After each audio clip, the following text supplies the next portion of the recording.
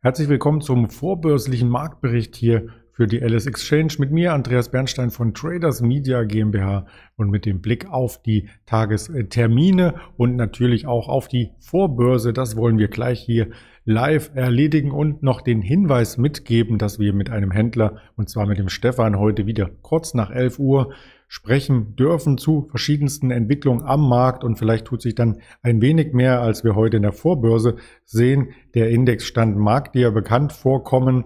Wir sind gar nicht weit entfernt von den Eröffnungslevels der letzten Tage und auch der Schlusslevels der letzten Tage. Also per Saldo bewegt sich der DAX in einer sehr, sehr engen Bandbreite und das birgt die Gefahr, dass er hier aus diesem Abwärts-Aufwärtstrend abkippen könnte. So wollte ich es ausdrücken. Gestern noch vielleicht die Kurve bekommen bei 15.249 als Xetra Schlussstand, aber hier wurde erneut dieser Trend angekratzt, zumindest intraday. Und es ist sehr, sehr wichtig, wie sich der Markt hier für charttechnische Techniker an dieser Marke verhält, ob wir wieder Schwung nehmen können. Dazu bedarf es eines Anstiegs auf Tagesschlusskursbasis im Idealfall über der 15.311.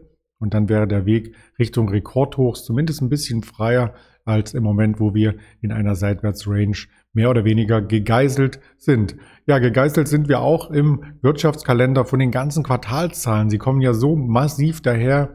Man kann sich hier einzelne Unternehmen natürlich herauspicken, aber die Gesamtzahl ist zu beurteilen. Das bedarf sicherlich noch einiger Tage und Wochen, damit hier ein Schnitt gemacht werden kann, insbesondere für Investoren, wie denn das erste Quartal gelaufen ist, wie das zweite Quartal losgeht und was man vielleicht auch im dritten und vierten Quartal erwarten kann. Bei Microsoft sprudeln die Gewinne weiter. Das haben wir gestern nachbörslich als Zahlen bekommen. Und zwar hat die Cloud natürlich ordentlich dazu beigetragen, dass die Gewinndynamik anhält bei Microsoft. Die Spielebranche, auch das äh, wundert uns nicht, vor allem nicht diejenigen, die auf äh, Twitch täglich zuschauen, dass das gehypt ist und sehr gut angenommen wird von dem Publikum. Und der dritte Fakt ist natürlich der Deal mit dem Pentagon, wo Microsoft für das US-Militär einige Dinge anliefert und was insgesamt ein hohes Volumen an Auftragseingang mit sich bringt und natürlich auch ein Geschäft, was über mehrere Jahre Bestand hat. Denn so eine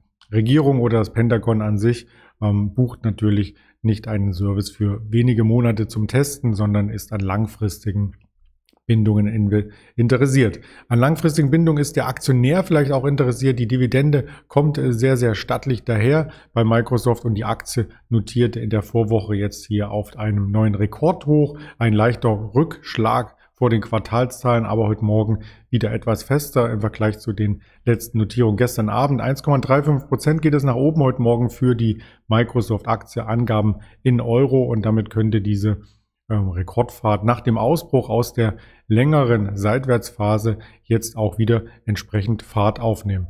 Ja, Microsoft ist nicht das einzigste Event, was wir heute beurteilen müssen. Es gab auch von Alphabet noch Zahlen, da gehen wir vielleicht mit der, in der Schalte mit Stefan näher darauf ein. Ansonsten warten wir auf das Event der Woche, die FED-Sitzung heute Abend 20 Uhr, der US-Zinssatzentscheid der Notenbank 20.30 Uhr, dann die Pressekonferenz, wo es von Jerome Powell, dem FED-Präsidenten, entsprechende Antworten auf journalistische Fragen gibt, wie die Wirtschaft sich weiterentwickeln könnte, wie die Geldpolitik hier vollzogen wird von der US-Notenbank. Und das steht heute im Fokus und natürlich dann auch morgen in der Beurteilung wieder am Morgen auf als erste Reaktion auf diese FED-Sitzung bei uns auf der Agenda. Ansonsten steht auf der Agenda eine Menge an Unternehmensnachrichten. Natürlich, ähm, das ist vermutlich auch wieder zu klein, als dass man es auf dem Smartphone erkennen kann. Aber ich trage die Zahlen, die richtig wichtig sind, heute vor. Es gab schon Zahlen jetzt gerade von der DWS, von der Deutschen Bank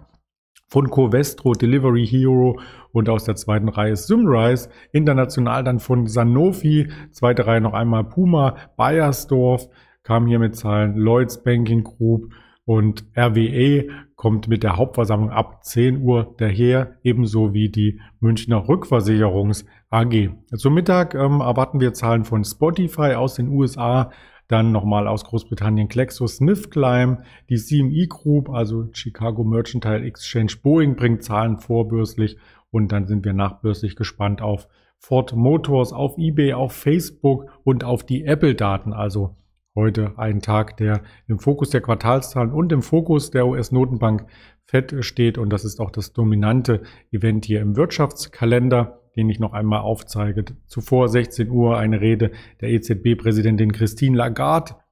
Und heute Morgen kam gerade über die Ticker das GfK Verbrauchervertrauen aber das hat den Markt jetzt nicht entsprechend umgeworfen oder in die Höhe gehievt. Wir hatten ja die vorbörslichen Kurse hier eingeblendet. Damit entlasse ich Sie in den Handelstag und würde mich freuen, wenn wir uns kurz nach 11 Uhr noch einmal zum Händlerinterview mit dem Stefan sehen. Bis dahin alles Gute, Ihr Andreas Bernstein.